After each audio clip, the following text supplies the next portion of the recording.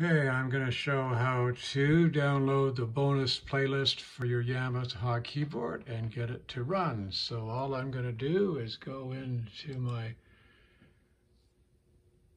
Chrome and search for Yamaha bonus playlist and I get down here and it tells me I can find some downloads from uh, the Canadian Yamaha and we click on that, and here's all the downloads that are available. And of course, what I want is other downloads. I'm down here.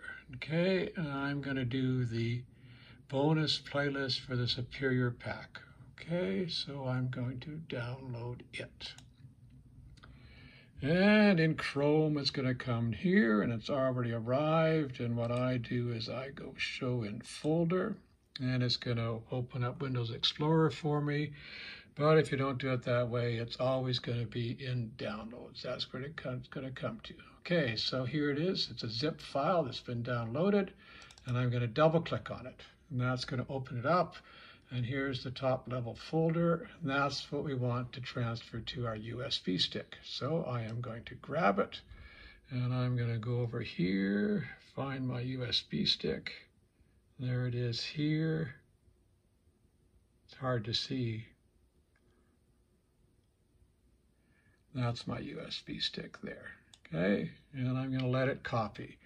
And Windows will automatically unzip while it copies. Okay, so now I've got it on my USB stick. So I'm going to take the USB and I'm going to go over to my Genos and I'm going to insert it here. And of course, the keyboard will find it. And now once it's found it, I'm going to ask for playlists. And of course, you have other playlists on your keyboard. So you tap the top name to go looking for them. It'll be on USB 1. Always has to be USB 1 for Yamaha playlist. And here is the Superior Pack right here. Okay, and now I've loaded it. And if I exit, it's going to be there. There's the Superior Pack. Okay, it's all there, all five pages of it.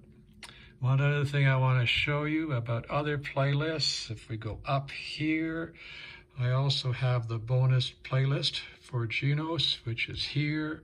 And what you've got is a playlist in each of the style categories. So here's the ballroom one, and if we go and look at what's in the ballroom one, and we can go find another one, and there's a playlist in each one of these folders, each one. And what the bonus playlist does for you is it gives you a song for each style that you have on your keyboard. So hopefully that helps you load playlists, the Yamaha playlists on your keyboard.